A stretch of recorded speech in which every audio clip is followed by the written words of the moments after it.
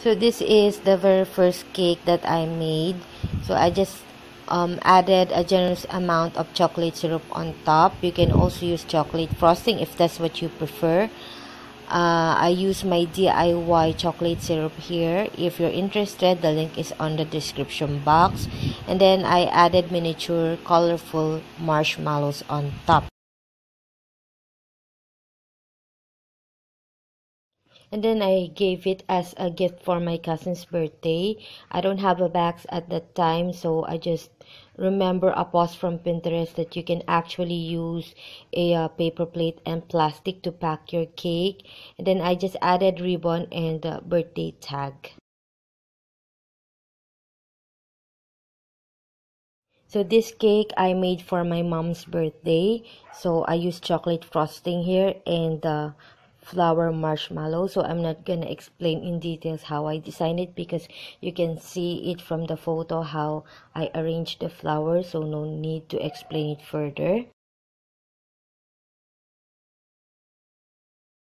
So this time i decided to use plastic plate instead of paper plate because it's more sturdy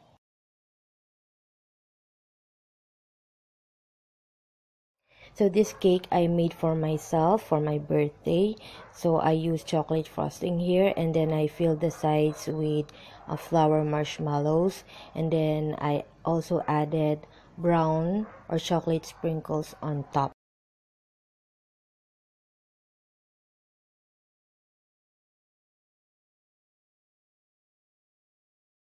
I made this cake for my mom's friend and our neighbor. I poured in some chocolate syrup on top and added colorful sprinkles and miniature marshmallows. And then I bought this happy birthday candle holder from Daiso, Japan.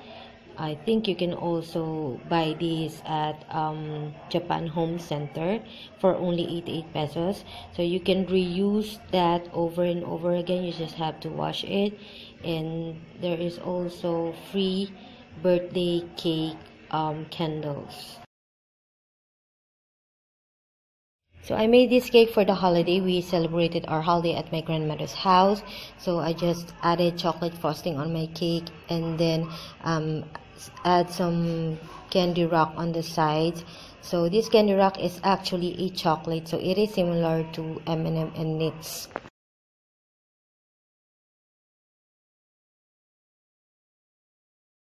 So this I made for my uncle's birthday. It is a brownie, not a cake. So I just poured in some chocolate syrup on top and fill fill it with chopped nuts. And then again I reused my happy birthday candle holder.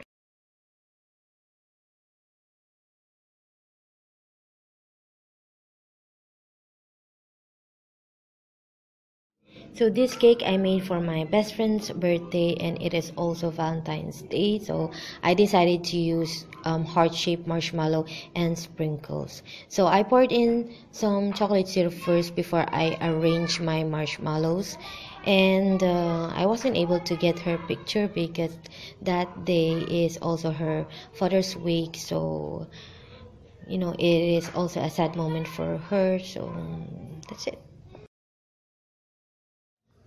and these cupcakes I made for my cousin's birthday. So I just poured in chocolate syrup and then added heart sprinkles and colorful sprinkles on top.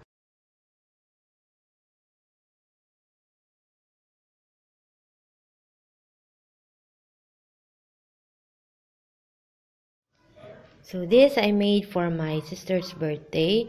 Again, I uh, used chocolate frosting and then I added sprinkles only on the side. So I used two types of sprinkles. I used the colorful and heart shaped sprinkles and uh, I reused my happy birthday candle holder.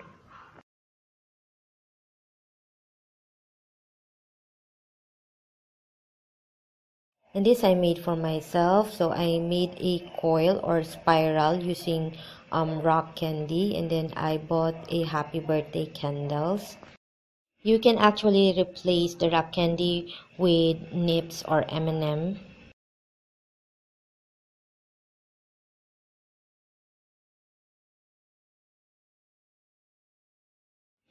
and this I made for my dad. Um, I actually used a cookie cutter for the design so I just placed the cookie cutter where I want it to be placed and then I fill the inside with uh, sprinkles. Then again I reuse the happy birthday um, candy hold candle hold